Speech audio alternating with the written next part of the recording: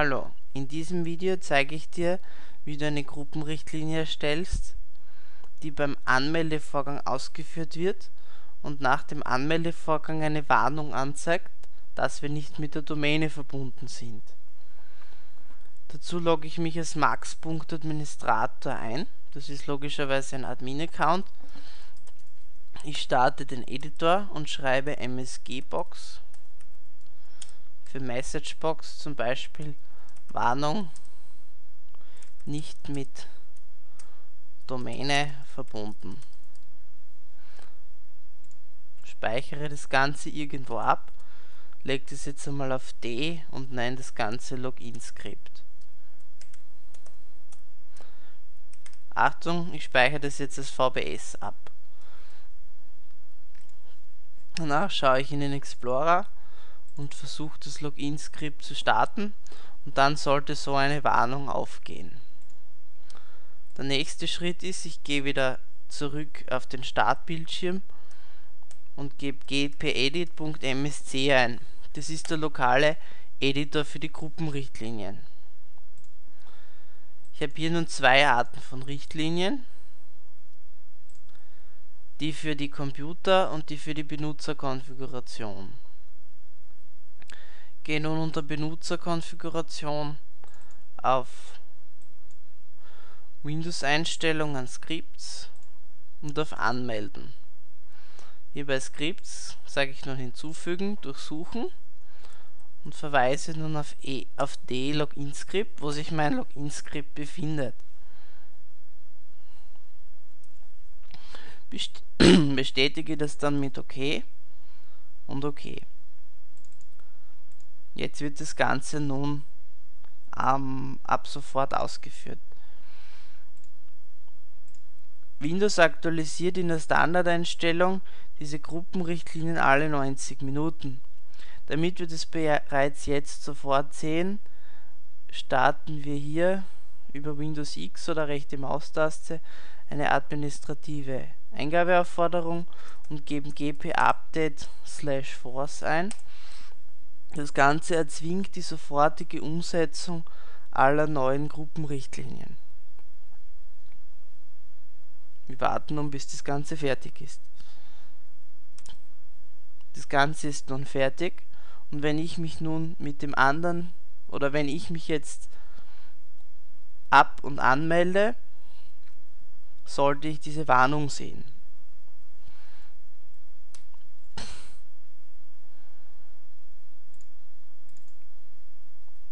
Teil 2 der Übung ist nun die Gruppenrichtlinie zu setzen, um für normale Benutzerkonten auf dem Rechner die Systemsteuerung nicht zugänglich zu machen. Dazu darf ich jetzt aber nicht wieder in gpedit.msc reingehen, denn dieser Gruppenrichtlinien-Editor gilt immer für den lokalen PC und alle Benutzer. Da ich jetzt nur eine einzelne Benutzergruppe haben möchte, starte ich die Microsoft Management Konsole und füge über Datei Snapin hinzufügen, die Gruppenricht Gruppenrichtlinien hinzu und sage hier bei Durchsuchen dieser Computer und zum Beispiel Nicht-Administratoren lokaler Computer nicht Administratoren fertigstellen. Okay. Jetzt habe ich hier die Richtlinien für Nicht-Administratoren. Wenn ich das gleiche wieder mache, komme ich wieder zu den Administrator-Richtlinien beziehungsweise zu denen für alle Benutzer. Wenn ich hier nichts auswähle, bin ich bei den Richtlinien für alle Benutzer das gleiche wie wenn ich gpedit msc auswähle, komme ich nur hier hin. Jetzt sage ich nicht Administratoren, Benutzerkonfiguration, administrative Vorlagen, Systemsteuerung.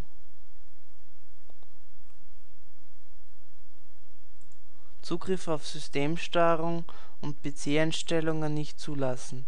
Ich klicke es doppelt an und kann hier sagen, nicht konfiguriert, aktivieren oder deaktivieren. Aufpassen, hier steht nicht zulassen, das heißt, wenn ich es auf aktiv setze, blockiere ich die Systemsteuerung für Benutzer. Klicke auf OK und das Ganze, wie man hier sieht, ist aktiviert. Um das Ganze jetzt wieder sozusagen einzuschalten, muss ich 90 Minuten warten oder ich gebe wieder gp update force ein.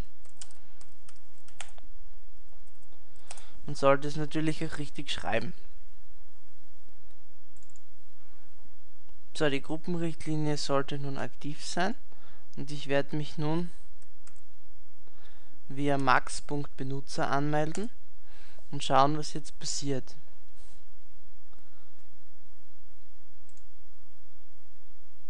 Kann jetzt hier in die Systemsteuerung gehen. Der Vorgang wurde aufgrund von aktuellen Beschränkungen auf dem Computer abgebrochen. Wie man sieht, ich komme hier nicht und auch über den Explorer nicht in die Systemsteuerung, beziehungsweise es wird mir hier gar nicht angeboten. Egal was ich mache, ich komme nicht hin.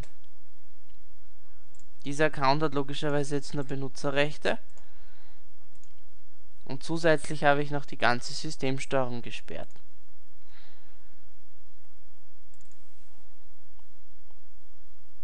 Man sieht jetzt ebenfalls die Warnung, die wir vorher als Startskript definiert haben. Das Startskript gilt für alle Benutzer am lokalen Rechner, was die Warnung betrifft, die man hier sieht. Die kommt auch bei Administratoren. Den Zugriff für die Systemsteuerung, der wurde allerdings nur für die Benutzer eingeschränkt. Wenn ich auf den Administrator-Account hier wechsle, sieht man, ich kann genauso hier in die Systemsteuerung rein und sämtliche Einstellungen ändern. Ein letztes Werkzeug möchte ich noch kurz zeigen. Das finde ich unter airsop.msc. Diese Warnung kann man ignorieren, das sagt mir nur, dass ich Benutzer bin und kein Administrator weshalb ich nicht Zugriff habe, alle Richtlinien zu lesen. Das Ganze ist der Richtlinienерgebnissatz, langes und schwieriges Wort, sagt nichts anderes aus, als dass ich hier alle Richtlinien, die ich eingestellt habe, anschauen kann. Hier werden nur die von mir festgelegten Richtlinien angezeigt und für welche Gruppe das Ganze aktiv ist. Wozu brauche ich das Ganze? Wenn ich nicht mehr weiß, was ich vor ein, zwei Jahren auf diesem Rechner konfiguriert habe und im eigentlichen Bearbeitungstool des Ganzen muss jetzt wieder zum Administrator-Account wechseln. Wenn ich hier nicht alles durchklicken möchte, und schauen, wo steht nicht konfiguriert. Das heißt, es ist nicht eingestellt worden oder wo habe ich irgendeine Richtlinie aktiviert oder deaktiviert. Das ist sozusagen ein Anzeige- und Kontrolltool, mit dem ich schauen kann, was gilt für den aktuellen Benutzer und den aktuellen Rechner als Richtlinie. Hier sehe ich auch die Startskripts, die ausgeführt wurden, wann zuletzt und so weiter. Das war's nun zu den Gruppenrichtlinien